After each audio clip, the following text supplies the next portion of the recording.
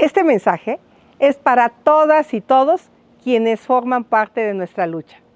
Primero, este miércoles 5 de junio inician los conteos distritales.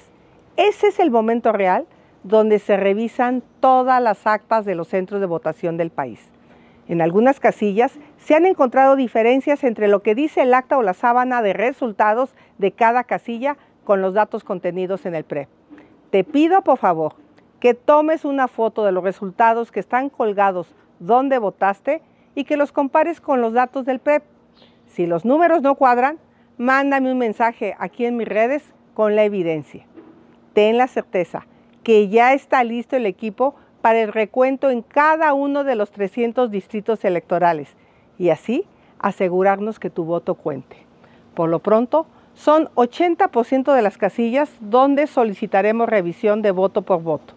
Hasta este momento, el INE ya aceptó el recuento en por lo menos el 60% de las casillas. Vamos a defender el voto de todas y todos de la elección presidencial, gobernadores, senadores, diputados federales, diputados locales y presidentes municipales.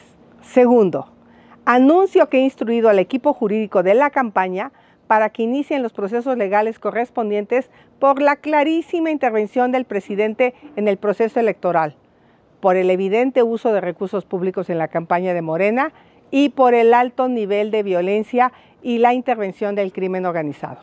Tercero, las acciones legales y electorales que hemos iniciado tienen como objetivo que se clarifique el voto de todos los mexicanos y que se evidencie todo lo que ocurrió en las elecciones.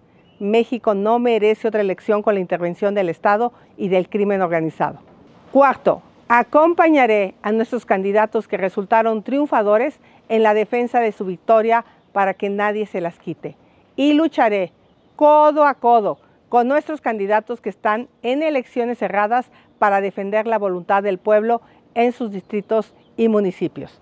Hemos iniciado con la resistencia para proteger nuestra democracia, nuestra constitución y nuestra libertad.